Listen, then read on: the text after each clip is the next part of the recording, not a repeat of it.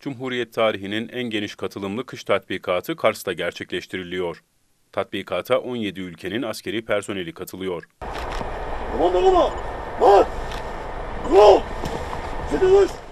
Türk Silahlı Kuvvetleri Cumhuriyet tarihinin en geniş katılımlı kış tatbikatını yapıyor. Kars'ta sıfırın altında 10 derecede gerçekleşen tatbikata aralarında Almanya, İtalya, Azerbaycan, Kazakistan, İngiltere'nin de bulunduğu 17 ülkenin personeli katılıyor. Kış 2023 tatbikatına ilk defa geliyoruz Kosova ekibi olarak.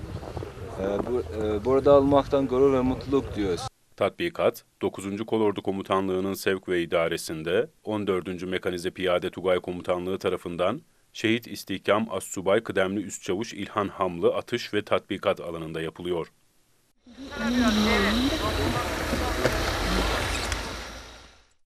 ...1758 personelin katıldığı 43 değişik cins 651 araç, 23 değişik cins ve çapta 865 silah kullanılan tatbikatta ekipler arama kurtarma çalışması da yaptı.